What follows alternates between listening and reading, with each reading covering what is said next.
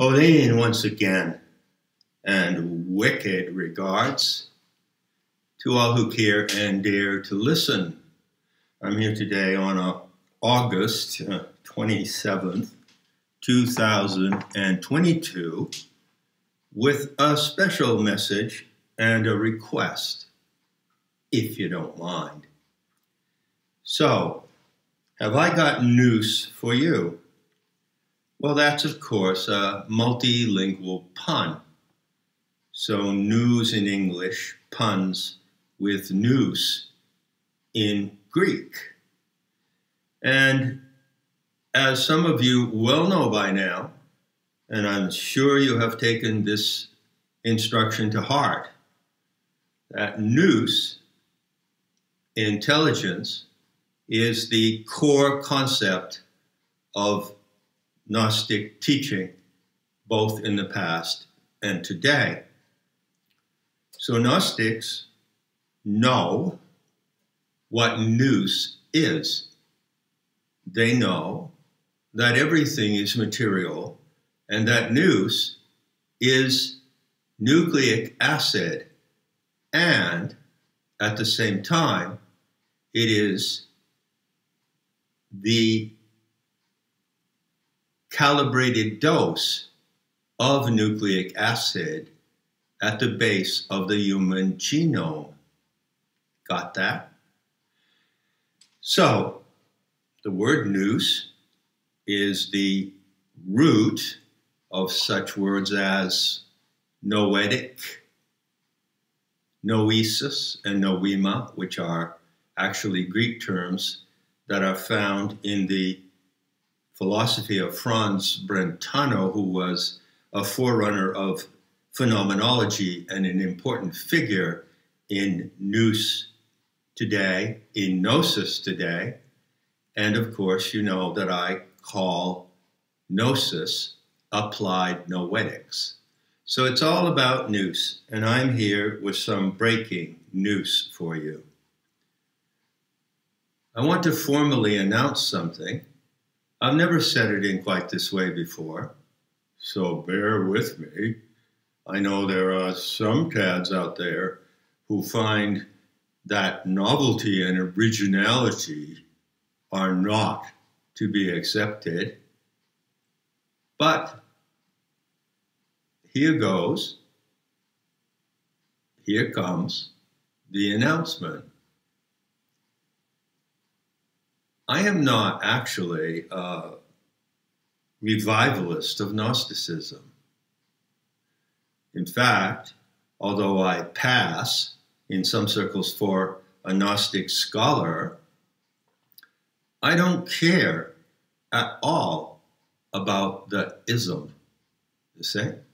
So Gnosticism is a term for a dead and gone religious, mystical movement that existed in the Near East, in the Levant, principally, for many, many centuries. So there are many books about Gnosticism. There are many people on the internet, both scholars and pop gurus, chattering on about Gnosticism. But that ain't me. You see, I'm not here to revive anything that can be found in the ancient surviving textual sources, which are meager and shambolic. I like that word, shambolic. They're in shambles, okay?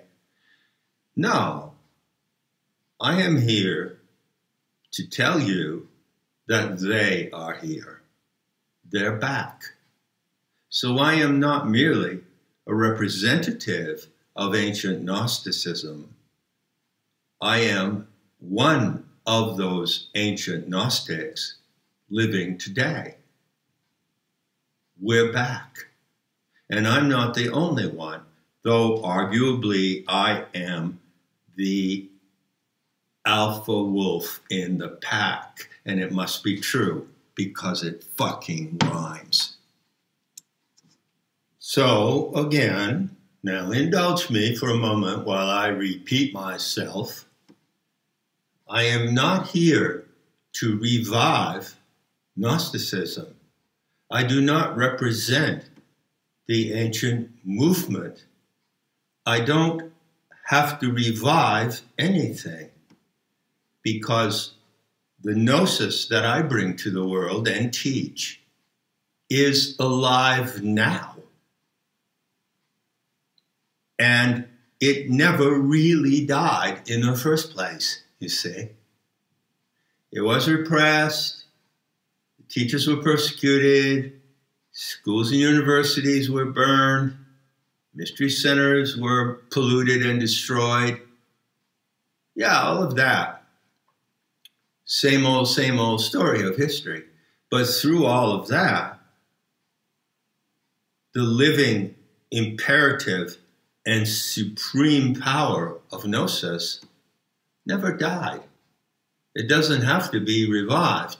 I don't have to represent something that was lost. Rather, I embody something to be found. Get the difference? And so, of course, as usual, here is JLL on the internet making outrageous claims and demonstrating the boundless scope of his self importance. Right? Certainly that's true, and I would never deny it. But at the same time, do not overlook what I've said before. I like to keep my pretenses right out in the open. What you hear is what you get with me. You know my agenda, you know my mythogen, you know something about my ethics, and there's more coming. I love to be totally transparent. You know, transparency is sort of like the cloak of what was it? Hades? Perseus was the Greek hero who slayed the Medusa and then took her head and used it to paralyze the monster Cetus. And therein he was able to rescue the chained woman named Andromeda. And there is a remarkable mirroring or parallel between that myth and the myth of the fallen goddess scenario, the chained woman Andromeda and the fallen goddess Sophia. And in order to achieve this feat of heroic daring, Perseus, whose name means the destroyer, uh, was aided by the gods. So I believe he received a pair of winged sandals from Hermes. That represents telepathy and the ability to move the mind through time and space, as a shaman can do. But he also received a cloak of invisibility. Do you remember that aspect of the myth, that detail? I think I have it right. Too lazy to go back and check it.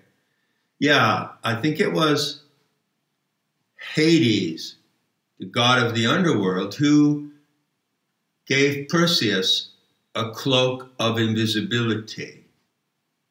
Well, transparency is my cloak of invisibility because transparency is something that you see through, but you cannot actually see transparency itself can you? So, yeah, I'm a self indulgent, arrogant prick. And I make these outrageous claims, but I'm nothing compared to others in the world today, well known names in all fields of life, in all callings, who make far worse claims, but they don't have the honesty to be transparent about it you see. For instance, I'll take you to the top. You like it when I do that, right? Who on this planet makes the most outrageous claim about themselves? The ultimate claim of self importance? Well, the name for those creatures, proper name in German, is the Übervolk, not the Übermensch, the Übervolk. Now, I talked about the Übervolk. This might get this upload taken down, by the way. I talked about the Übervolk specifically with or in relation to certain historical events that I considered in the process of decoding the Mandela effect. That's background, that's homework. You don't need to know that. All you need to understand is that the Übervolk hold themselves to be a higher species on this planet who operate from the mandate of an off planet Father God, whom the Gnostics identified as a demented alien pretender, by the way. And they claim, on the one hand, to be engaged in the correction of the world and to be the benevolent handlers of all handlers of all the human races, the benevolent handlers. Oh, how wonderful is that? And that claim which is not transparent, is merely a ploy and a disguise for their true intentions, which is to decimate the human race like a swarm of archontic locusts. So, you with me? You feel me? I'm making this announcement, and I intend to continue making this announcement over the next weeks and in the immediate future. But for now, I want to leave you with that decisive distinction. The living gnosis today is what I teach. So I am a living Gnostic, and so being alive, I don't need to revive anything. Now, about my request, I have to tell you that something has happened recently that really baffles me. And I want to ask you to consider it and perhaps in the comments lend me or benefit me with your insight. You see, there is a kind of discussion going on on the planet. It's not really a debate, as I pointed out in my article and talk on the missing debate over Gnosticism, that a debate requires two opposing parties on the same platform. You don't see this today. What you see is one platform, which is the mainstream propaganda vehicle, which is a weapon of mind control and a platform for various types of psyops. And then you see another platform of those who are honestly and accurately, in many cases, exposing and opposing this agenda the Marxist communist, transhumanist agenda. Okay? But they're not on the same platform, so it's not really a debate. But if you go to certain mainstream channels, and even certain, as well as certain alternative channels, you find that there are various voices, well informed, well intentioned, who are pushing back against that agenda, which I call the program of the Coviet regime and the Coviet commissars. Okay? And there it is. You can go and listen to hours and hours of people talking, interviews, discussions. And that in total is what I would call the chorus of the anti Coviet opposition. And it includes some people who are designated by the Coviet regime as being pro white, right wing, white advocates. Okay? And they're described as such by uh, those voices of the Marxist ideologues, and they are condemned for being so. So there's a battle going on.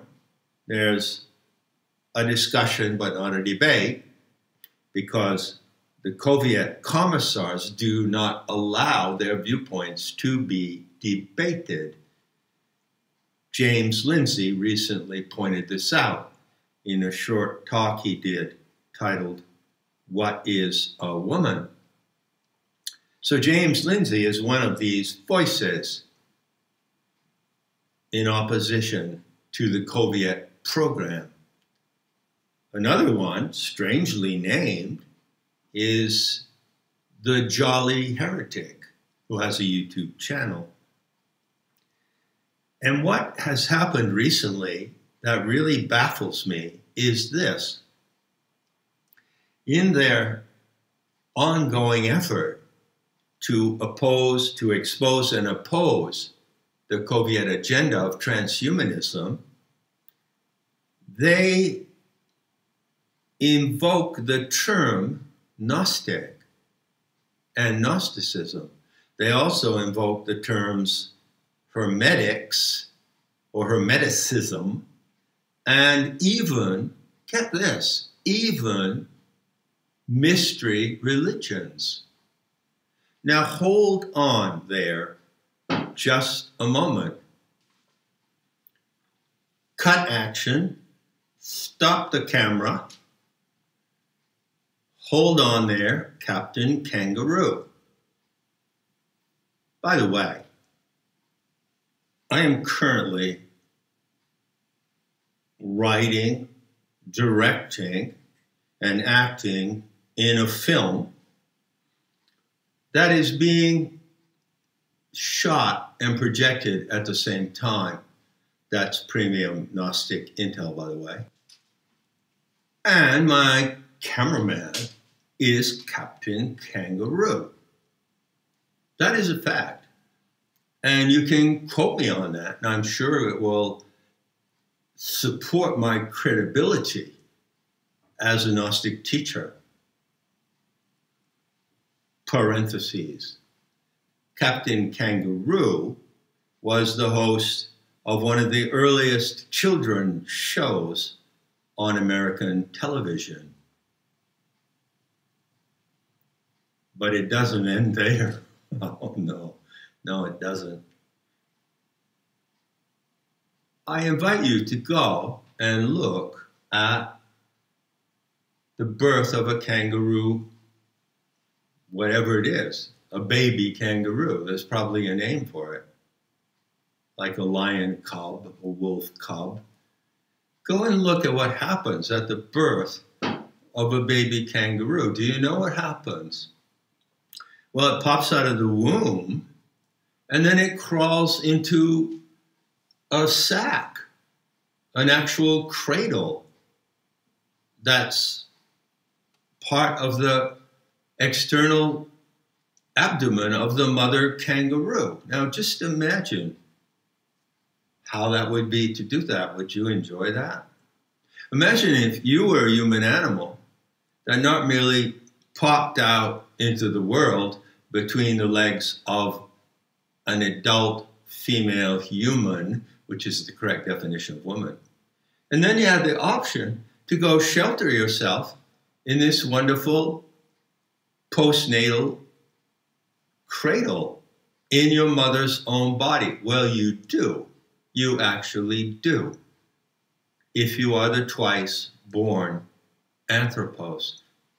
But that's another subject. Close parentheses.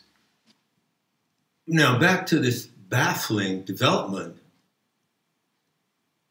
It appears that, I don't know, over the last couple of months, James Lindsay, who is a prominent voice, and other less prominent so called alternative voices on the internet are invoking the term Gnostic as a way to condemn the Marxist left. You get that? they are referring to Gnosticism and even to mystery religions in order to slander the Marxist ideologues. They compare the Marxist ideologues to Gnostics. Have you picked up on this?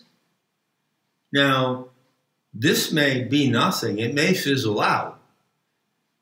It may be a, quirk that appeared in a couple of talks here and there. But even so, I find it weird. Why would they do this? After all, in the first place, to know anything about who the Gnostics were, what they believed, what they talked about and taught, how they behaved, what their ethics were, to know anything about that, to have any legitimate ground for even saying their name, requires a tremendous commitment of study in ancient texts and in the history of religions. And yet, certain voices on the right, put that in quotes, appear to be invoking this term Gnostic as a way to condemn the Marxist ideologues, but at the same time, of course, doing so, aren't they condemning the Gnostics? because they claim that Gnostics and Marxists hold the same position, they act in the same way, they behave in the same way, and they may even hold the same ideology somewhere along the line. This is extremely perverse and strange, and I really don't understand how this is happening. Now, I'm not saying that this is a widespread phenomenon. I've only picked it up here and there. And it would be an omission on my part if I did not mention a special case that appears in this dialogue, this discourse, and that would be Keith Woods. Now, Keith Woods did a talk called Is the Left a Gnostic Death Cult? And what he was doing in that talk was addressing this allegation. And in fact, he stood against this allegation and he came to the conclusion that it was not either fair or accurate to use the term Gnostic in reference to the left, to the Marxist transhumanist ideologues. So I would say to Keith Woods, and I guess this is what you call a shout out. You're a kind of prodigy, definitely. And some would say that I'm a prodigy as well in my own right. And I find it remarkable that you would apply your intelligence to a critique of the use of the word Gnostic, even though, as far as I know, you may as well know nothing about the true message of the ancient Gnostics. Nevertheless, it's remarkable, and in a way, I venture to say, admirable that you found it worthy to come out and say, no, that doesn't play. You can't use that term. Even though you, Keith Woods, did so, basing your argument on the erroneous profile of the Gnostics and not the profile that I present in not in his image. All right, then. That's enough of the gruesome details. What I am requesting of you is to consider this bizarre development. I really don't see what could possibly be behind this. I have some suspicions, but I really would like to know your opinion, if you have one.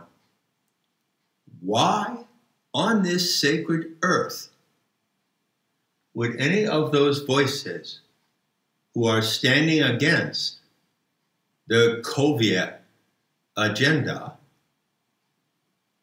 invoke the word Gnostic? Where are they coming from? What possible background do they have for using that name, that label, as a term of condemnation? You see what I'm getting at? So, this has been happening. As I say, it might be just a, a fluke, it may not continue. But as a living Gnostic today, I can say that my curiosity has been aroused, to say the very least. And so there you have it. Whether or not you've been aware of this bizarre development, you are now informed.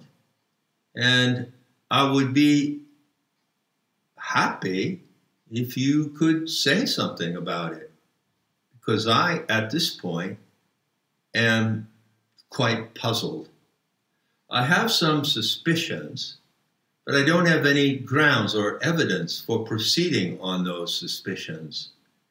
But I'll just tell you in closing with what one of my suspicions is. I suspect that the comparison between Gnostics and Marxist ideologues might have been implanted, you say, in some way. For instance, in the case of James Lindsay, who could have suggested to him that he used the word Gnostic in this way? Did it come from himself? From his own education? Or did it come from some advice on the side? I really don't know. And so anything that you might be able to say to enlighten me on this matter will be appreciated and enough said.